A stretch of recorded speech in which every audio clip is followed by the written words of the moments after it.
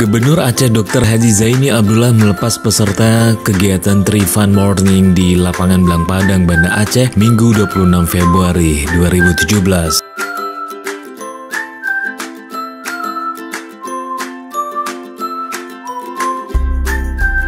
Kegiatan tersebut dilaksanakan dalam rangka HUT ke-28 Harian Serambi Indonesia dan terbagi dalam tiga kegiatan yaitu Fun Run atau lari santai, kemudian Fun Bike, sepeda santai, dan Fun Work, jalan santai. Ribuan peserta terlihat memadati lapangan Blang Padang sejak pagi untuk mengikuti tiga kategori kegiatan tersebut. Zaini Abdullah berharap kegiatan tersebut dapat meningkatkan silaturahmi, membangun kebersamaan, dan masyarakat semakin gemar berolahraga untuk kesehatan.